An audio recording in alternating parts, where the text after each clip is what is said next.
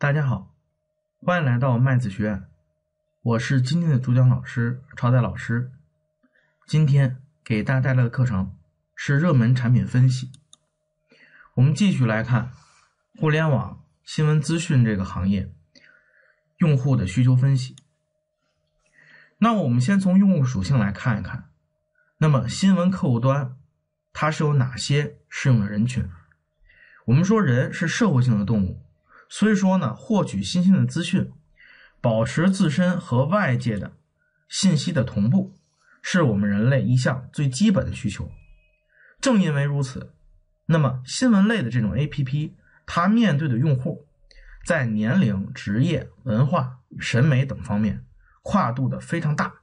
覆盖的面啊也非常大。左边的这个图大家可以看到，是不同的职业。使用新闻客户端的这个分布，那么从这个分布里面，大家也可以看到，学生人群和互联网的从业人群占据了总体比例超过百分之六十。那么为什么这两类人群占据的这个比例比较高呢？一方面是因为在这两个人群里面，那么智能手机的普及率是最高的；另一方面呢，就是这两个人群他们对于互联网的接受程度。也是普遍高于其他群体的。那么他们深刻的知道，那么新闻 APP 他们的体验要好于 PC 的网页，好于电视，好于广播。那么除了这两类人群，私营业主是新闻 APP 的第三大用户群体。那么为什么是他们呢？因为他们的特点就是有一定的经济实力，而且呢时间自由，关心时政。对于这种新闻客户端的接受程度也比较高。那么，我们再通过调查的结果来建立一下用户模型。咱们选三个人，第一个人叫做小乐，小乐呢是个学生，大二，二十岁。那么每天呢都会用手机来刷一刷，刷一刷新闻资讯，从早晨去厕所蹲坑开始，就开始在网上看新闻。那么上课无聊的时候，对吧？除了发呆看看同桌的你以外，有的时候呢还会看看手机，看看新闻客户端，啊，这是学生的这个典型的用户。那么第二个用户呢是小美，小美呢是 IT 公司的这个女的设计师，二十八岁，朝九晚五，啊，朝九晚十啊，说错了，朝九晚十。平时呢上下班呢需要挤地铁，那么这个时候呢，她也需要看一看每天的新闻。那么每天呢，午后吃饭的时候，对吧？在等餐的时候也会看一看新闻，啊，这是互联网人群使用新闻客户端的这种典型的场景。那我们说私营业主，比如说张张总，张总呢是一个茶叶店的老板，今年呢四十多岁。那么平时在店里做生意的时候，如果店里没有人，喜欢呢坐在椅子上，拿出手机，哎，看看新闻，大都呢都关注于本地新闻，还有一些国家大政、国家大事。那么这就是三种最典型的这个人群。那么从这个调查分析当中，大家可以看到，新闻客户端用户对于新闻客户端的这个需求，主要表现在对内容上、信息内容上。那么对于音频和视频的需求，其实是远远小于对于文字内容的这个需求的。其实考虑到用户刚才使用场景也是一样的，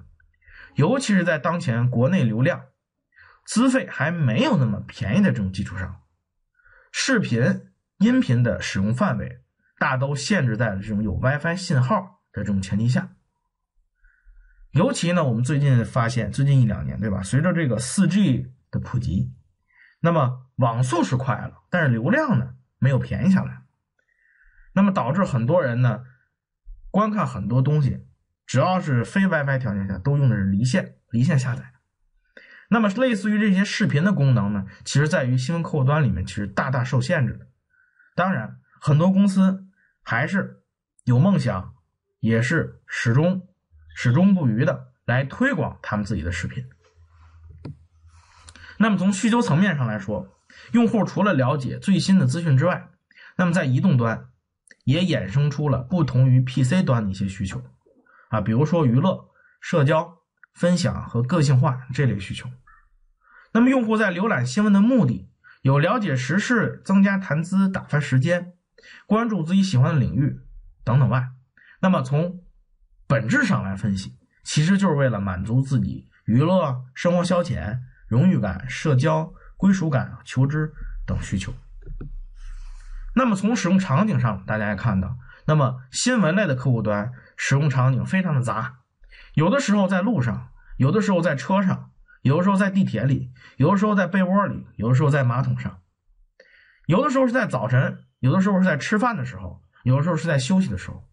那么这种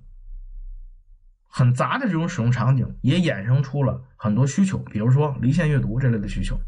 啊，就是很典型的在新闻 APP 里面经常需要的。那么这也给新闻 APP 在用户设计的时候，需要考虑如何能够在这些琐碎的短的时间内，来满足用户这些需求，成为了新闻类 APP 应该考虑的一些问题。